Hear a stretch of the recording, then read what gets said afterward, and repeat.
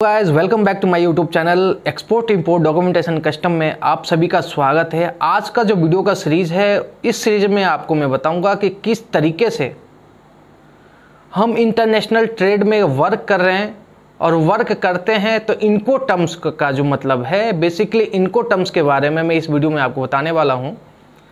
इनको टर्म्स जो है, किस तरीके से वर्क करता है इंटरनेशनल बिज़नेस के अंदर? और ये कब एस्टेब्लिश हुआ? किसने इसको बनाया?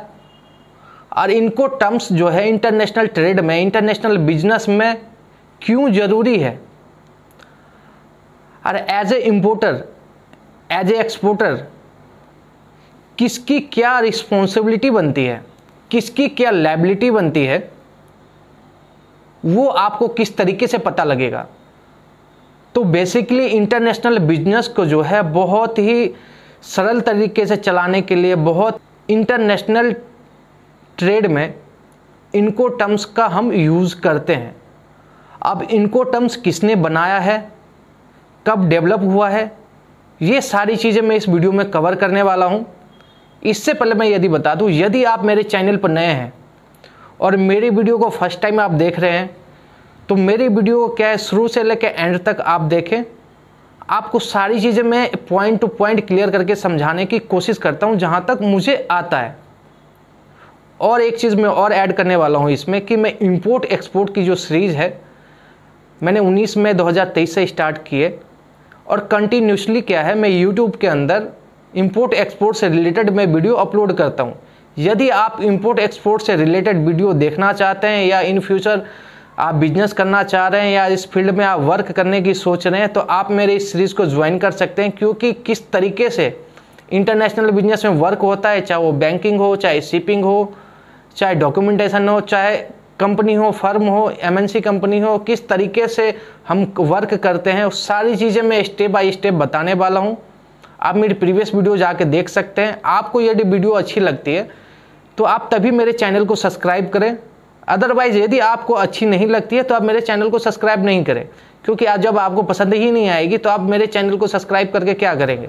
यदि आप इंटरेस्टेड हैं इम्पोर्ट एक्सपोर्ट सीखने के लिए, या इम्पोर्ट एक्सपोर्ट में बिज़नेस करने के लिए इन फ्यूचर तो आप मेरे इस वीडियो सीरीज़ को आप ज्वाइन कर सकते हैं। टेलीग्राम ग्रुप को जो है, आप ज्वाइन कर सकते हैं, जहाँ कुछ भी अपडेट आता है तो मैं उस ग्रुप में क्या है अपडेट करता हूँ। तो आइए मैं बिना किसी देरी के मैं आपको बताता हूँ इनको टर्म्स के बारे में। इनको टर्म्स है क्या और किस तरीके से आप यूज़ होता है। आप विश्वास मानिए बिलीव करिए कि ये वीडियो देखने के बाद या इनको टर्म्स से जितने भी रिलेटेड वीडियो हैं, क्योंकि एक वीडियो में ये सारी चीज़ें कवर नहीं होगी, इसके लिए तीन चार वीडियो मैं बनाने वाला हूँ। यदि इनको टर्म्स में आपको कभी भी दिक्कत आई है तो वीडियो देखने के बाद वो दिक्कत आपको ज़िंदगी भर कभी नहीं आएगी। आप कभी भूल नहीं पाएँगे कि इनको टर्म्स में एक्चुअल है क्या और किस तरीके से वर्क करते हैं, क्योंकि तीन चार वीडियो बनेगी, तीन चार सीरीज़ में बनाऊँगा तो वो सीरीज़ आपको पूरी देखनी है, तभी आपका जो है, इनको टर्म्स का जो है डाउट जो है वो क्लियर हो जाएगा। तो आइए मैं आपको सबसे पहले बताता हूँ, इनको टर्म्स का जो है मतलब क्या है? इनको टर्म्स का जो मतलब है इंटरनेशनल कमर्शियल टर्म्स और इनको टर्म्स के मैं यदि एक लाइन में यदि बोलना चाहूँ कि इन तो इंपोर्टर एक्सपोर्टर की रिस्पॉन्सिबिलिटी को आइडेंटिफाई करने के लिए जो है, इनको टर्म्स बनाया गया है। इंपोर्टर एक्सपोर्टर की जो क्या रिस्पॉन्सिबिलिटी है, क्या लाइबिलिटी है, इसी दोनों को आइडेंटिफाई करने के लिए क्या है इंटरनेशनल कॉमर्शियल टर्म्स यानी इनको टर्म्स बनाया गया है। इनको टर्म्स कब बनाया गया है? और इसको कब एडॉप्ट किया गया है पब्लिकेशन इसका कब हुआ है तो मैं आपको बता दूँ 1996 में, यानी 1936 में जो है, इनको टर्म्स बनाया गया है। इसको किसने बनाया? आईसीसी ने। इंटरनेशनल चैम्बर ऑफ़ कॉमर्स द्वारा जो है, इनको टर्म्स बनाया गया है, ताकि इंटरनेशनल ट्रेड में इंटरनेशनल बिज़नेस में जो है, काम बहुत ही सरल तरीके से, बहुत आसान तरीके से जो है इंपोर्ट एक्सपोर्ट का जो ट्रेड है, वो चल सके। इसीलिए इंटरनेशनल चैम्बर ऑफ़ कॉमर्स ने इनको टर्म्स बनाया है। और उसको क्या वर्ल्ड वाइड ये नहीं है कि इंडिया इसको मान रही है, या चाइना इसको मान रही है, या इंडोनेशिया इसको मान रही है, या यूए इसको मान रही है। ये क्या वर्ल्ड वाइड जो है वैलिड है। लेटेस्ट इनको टर्म्स जो है अभी 2023 चल रहा है। इनको टर्म्स का ये मतलब होता है लाइबिलिटी और responsibility liability and responsibility this is called Incoterms अब इनको टर्म्स जो है, वो कितने प्रकार के होते हैं? तो मैं आपको बताऊँ इनको टर्म्स जो है, ग्यारह प्रकार के होते हैं।